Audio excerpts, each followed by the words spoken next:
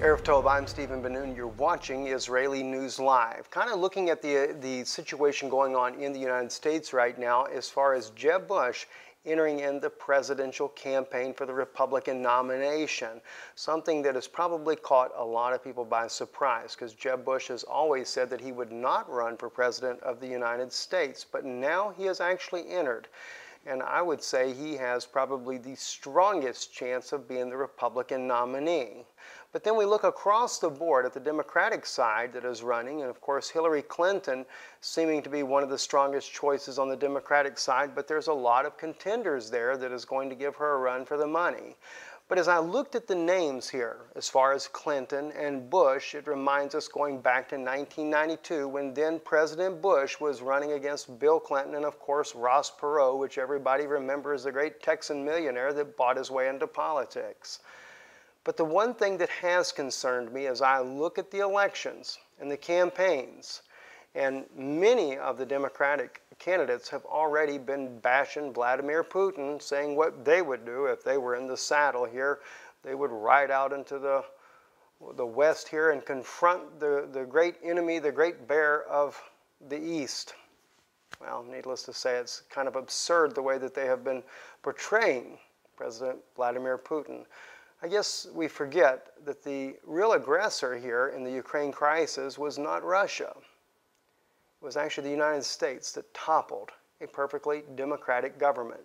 Now, I can't say that Ukraine was a good democratic government, but nonetheless, it was working on the basis of democracy, corrupt as it may be. But then again, it seems like in every election, in every democracy around the world, it is full of corruption, bribes, and everything else, including the United States.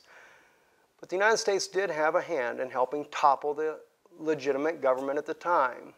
And now that legitimate government, so-called legitimate government, the Kremlin has put on the spot and asked them straight out, do they consider themselves to be the true legal successor of the former uh, government of, U of Ukraine?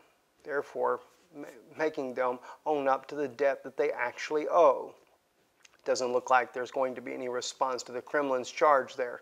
But going back to the campaign, looking at the different candidates that have taken their punches against Vladimir Putin and of course their punches against Obama saying he's not doing the job that he should do, that they would be stronger in facing Vladimir Putin straight on and deal with this problem that the United States faces. I don't really think that Vladimir Putin is a threat to the United States as much as the United States is a threat to their own people. But nonetheless, to my surprise, Jeb Bush also took his own jab at the president of Russia, Vladimir Putin, saying that Russians would be better off being a part of Europe. And that what they needed to do was to deal with the rogue regime that had been elected in or that was in power in Russia. It's quite clear, just as Israel faces an entire world against them, even Russia faces every politician from both sides against uh, Russia as well. Whatever happened to, to, to, diplomacy?